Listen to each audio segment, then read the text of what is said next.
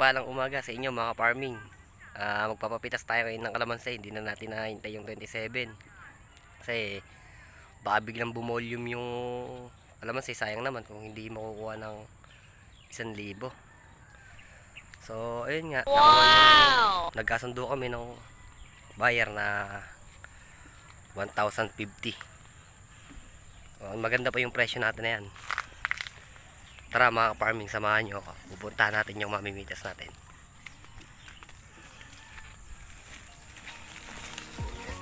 Ah, di dito sila nag-uumpisa lagi sa matanda. Tanda namin kalamansi. Pinapahalang ko sila para hindi naga hindi nag-aapura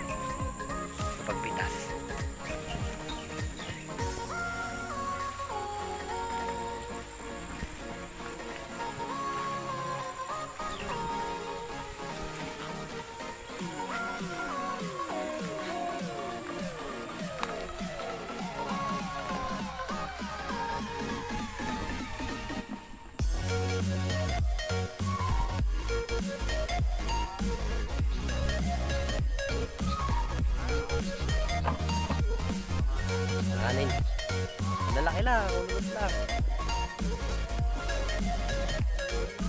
Ulubos lang.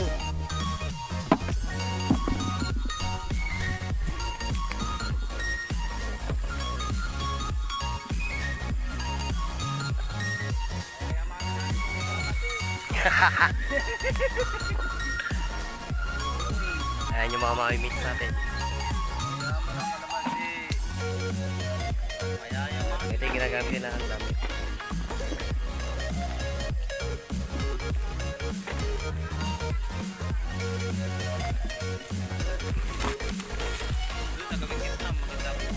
Oo, tubig kasi ron eh.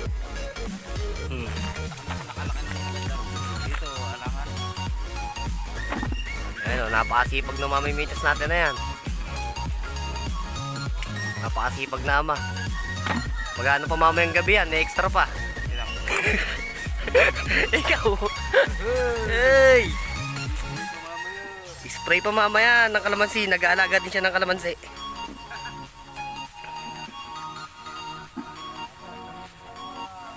Sayang.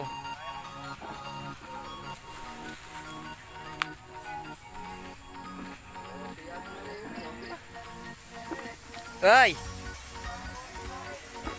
Kaya mo, baka bago magbagong taon. Yan, isang malupit nating mamimitas si Ate Bebe. Hintay lang yung mo. Hintay lang yung blessing mo. Bebe, ilang taong ka na? Oh, 69. 69. Yan nyo, sa sobrang gano'n na yung edad niya, namimitas pa rin ng kalamansi.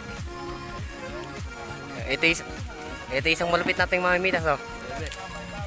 Uy! Uy. Kaway, kaway! ah, malupit yan. Napakasipag niyan. Nagugulay din po yan. Ayun lang, mga farming. Babalikan ko kayo mamaya. A few moments later.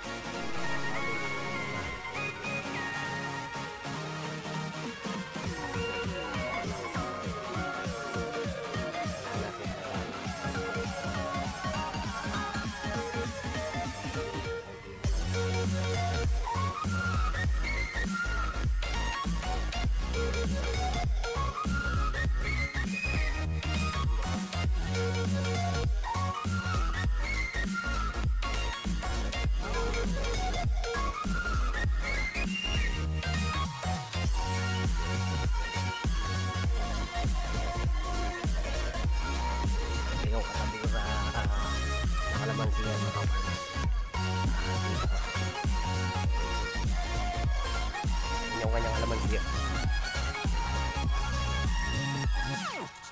So, kailangan mawapit dito.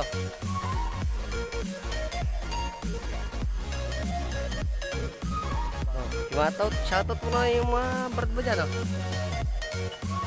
Yang hiya sa camera, eh.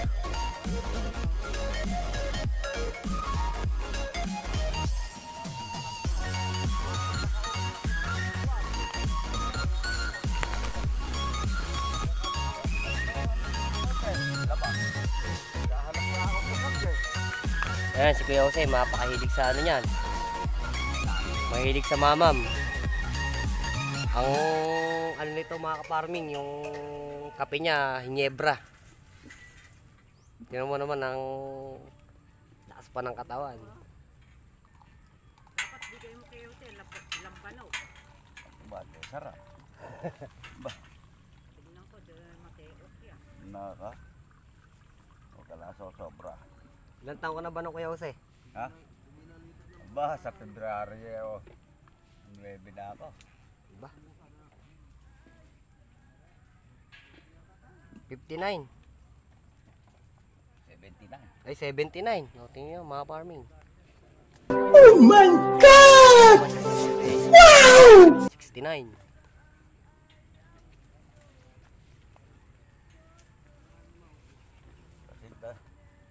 Barkada ko yung kapat, yung kuya ko nila.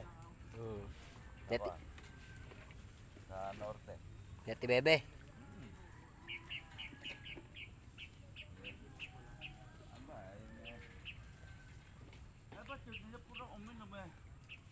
Inom muna kayong tubig. Baka mag-overheat. Ah, A few moments later. Farming, mamimili na tayo ng kalamansi natin. Yun yung bayar natin, bungan. Mga kabungan! Ayan. Kung nakikilala niyo si keeper na vlogger, member niya yan.